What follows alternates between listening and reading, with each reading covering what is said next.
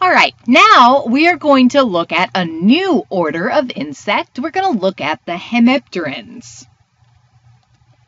So think way back to when we were doing insect systematics in this class. I very briefly went over Hemiptera, uh, and I talked about its true bug status and all that sort of stuff. One of the reasons I went over it is because there are a couple of species in Hemiptera that do cause significant animal problems. We're going to spend this series of lectures talking about those. But first things first, a quick review about the Hemiptera. So Hemiptera is the largest order of paurometabolous insects. So those insects that go from egg to nymph to adult. Okay, all the other really large orders like Coleoptera or Diptera or Lepidoptera are holometabolists. They go egg, larvae, pupae, adult. So largest order of paurometabolous insects, and we commonly call these guys the true bugs. So Hemiptera literally means half wings. Remember, ptera means wing, hemi means half. There's about 90,000 species worldwide, and in North America we have about 16,000 species, but of course people are always finding new ones and reordering them and all that sort of jazz. The Hemiptera include things like the cicadas, the leafhoppers, uh, spittlebugs, aphids, whiteflies, scale insects, assassin bugs, giant water bugs or toe biters, back swimmers, and kissing bugs. Now, this is a very diverse order. If that ridiculous list and all these pictures here wouldn't didn't clue you into it, very, very diverse. And there's lots and lots of different types of insects to fall into this order. So we break up this order into several suborders. For the purposes of this class, this is how we're going to break this up. We're going to break it up into three major suborders, the Heteroptera, the Auchenorrhyncha, and the Sternorrhyncha. So let's start with Heteroptera here at the top. This literally means different wing. So hetero, different, ptera, wing. So different wing. So in this case, the forewing is composed of a thickened basal portion and it's attached to a transparent distal portion. Okay, the hind wings are completely membranous. So you have these very strange looking wings, all different types. So the things that fall into this Heteroptera suborder are things like assassin bugs, bed bugs, plant bugs, and stink bugs.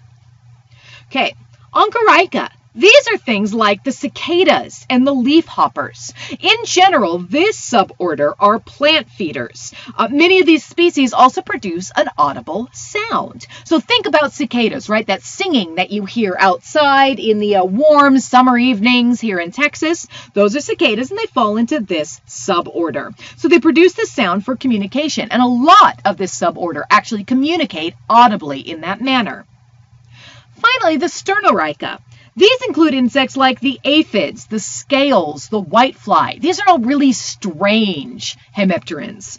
Uh, in here. So the name Sternorrhyncha, this refers to the, uh, the position of the mouth parts. So the mouth parts face backwards underneath the head. They're held along that thoracic sternal region in between the legs, hence the name Sternorrhyncha.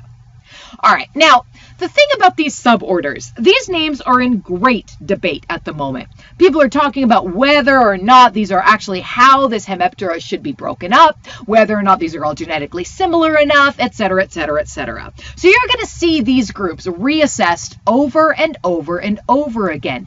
And this is a relatively new uh, development when it comes to um, naming the uh, Hemiptera. So they used to be called a bunch of different things. They used to be in different orders, let alone suborders. So it's all over the map. So when you start doing different readings, you're going to notice Hemiptera is broken up in very, very different ways. It just depends on the author. It depends on the, the age of the paper the book that you're reading, all of that sort of stuff. For the purposes of this class, we're going to stick with this classification, though. It makes it simple for us. Uh, and this is what we see in your book and what we see in all of the, the stuff that I've been giving you over time. So I want to keep it all together there. So at the moment, this is what we're going to be looking at, and we're going to focus on one suborder in particular. We're going to focus on the Heteroptera, those that actually affect animals. All right. So looking at the Hemiptera, and in particular the Heteroptera that we care about, these um, are insects that have piercing and sucking mouth parts. So nearly all true bugs have piercing and sucking mouth parts. This indicates that they feed on a variety of fluids. So certain uh, suborders will feed on things like plant juices from the xylem or from the phloem. Um, heteropterans uh, and some of the uh, other suborders will feed on animals and the fluids that the animals produce. So they can actually bite living organisms. There's about 20 species of Hemiptera that are known to bite animals. Uh, these bites can cause pain, they can cause a burning sensation. Probably this is due to the enzymes and other salivary secretions that are used for exodigestion. So these are pumped into that bite right afterwards in order to allow for feeding. Some of the larger hemipterans can actually stab in with their mouth parts, and this can cause a pain similar to that of a wasp sting because it's just, you know, very sharp mouth parts that are now being stabbed into flesh. One particular insect, the assassin bug, this is found in Israel, and it's considered the most neurotoxic and hemotoxic um, animal in that region. It's more neurotoxic and more hemotoxic than the bite of venomous snakes in Israel. So there can be some pretty nasty true bugs out there. Now, because of the huge number of species that are found in Hemiptera, the average size is just all over the place. So it's really, it goes from just a few millimeters to upwards of 45 or 50 millimeters. So that's a really, really big range for these insects. But like I said, the group is subdivided into a whole bunch of different um, uh, forms, the different suborders. Uh, it's a little easy to tell certain suborders, like the half wing, that basal thickened portion, and that apical portion that is membranous for the Heteroptera. Others will hold their wings in a tent like fashion over their back. Others, like the Sternorrhyncha, will have their mouth parts that are facing backwards. So you can tell them just on sight, although it does take a little bit of practice. Now, we are going to start focusing in on just those insects that feed on animals. So the hematophagous group, those that feed specifically on blood. So that word hematophagous, hema means blood, tophagus means feeding. So hematophagous feeding on blood. There is one major family that affects animals, the Reduviidae. The Reduviidae are commonly called the cone noses or the assassin bugs or the kissing bugs. Now, kissing bugs tend to fall into one subfamily, the Triatominae. Okay, so these are the ones that are the major vectors for different types of diseases. They're called kissing bugs because they tend to feed around the face, around the mouth, and they can leave these little hickey-like marks behind. There are a few other hemipterans that can cause uh, uh, effects on animals, even if they aren't hematophagous. There are things that are uh, predatory or entomo- or entomophagous. These are ones that will feed on other organisms or, or insects in particular. And these hemipterans will bite animals if they're disturbed. So if they come into an area where you have these insect feeding bugs and an animal gets in the way, they can get bit. Uh, the saliva of these insects may have very toxic effects on the animals in one way or another. It may have things like hemolytic function. So hemolytic, this is where it destroys red blood cells. It may have hemorrhagic functions, where it causes the leakage of blood components into tissue out of those vessels. It may have cytolytic functions, meaning that the uh, blood vessels or the cells will burst due to osmotic, osmotic imbalance. Or it can have neurotoxic functions, where it's going to alter the normal activity of the nervous system.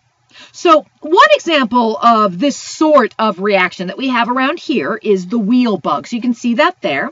The wheel bug is named for this prominent spiny ridge or wheel on the dorsal thorax. Now, these are not normal animal feeders, but they are voracious predators. They feed on a wide variety of soft-bodied insects, and therefore they're very important in pest control. So if you see these wheel bugs out and about, just leave them be. They're going to be feeding on other insects, and that's great. Uh, they move relatively slowly. Uh, they will grab their prey and they're going to inject their saliva, which is just full of digestive enzymes and these paralytic substances, into these insects, and that's going to immobilize their prey within seconds.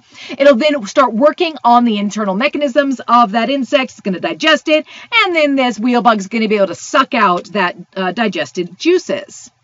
Now, these wheel bugs are not normally aggressive towards humans or animals. They tend to hide from us. They tend to hide from dogs and cats and things. They tend to run away when larger animals find them. But if you pick them up, or if an animal really gets involved, like a cat batting it around, then they these uh, bugs can inflict a very, very painful bite. So if you get bit by one of these, um, tell me about it because I want to know. I've never been, been bit but the uh, the pain has been described as worse than a, a, bee sting or worse than a hornet sting or a wasp sting. And apparently, in general, there's a lot of initial pain followed by a numbness for just several days. So the afflicted area is going to become very reddened and hot to the touch as your body is reacting to this bite. Later, it may become white and hardened around that puncture area because of those uh, digestive enzymes. Occasionally, a hard core may just sort of slough off and leave a small little bite hole at the puncture wound. And healing can take a long while. It can take up to two weeks. And during that time, the, the wound can become easily infected. So if you or your animal has been bitten by a wheel bug, it's gonna hurt. Sorry, not sorry, I guess. Uh, take care of it. Put a lot of antibiotics on it. Cover it with a bandage if you can. Try to keep it from getting infected. And then don't mess with the wheel bugs. All right.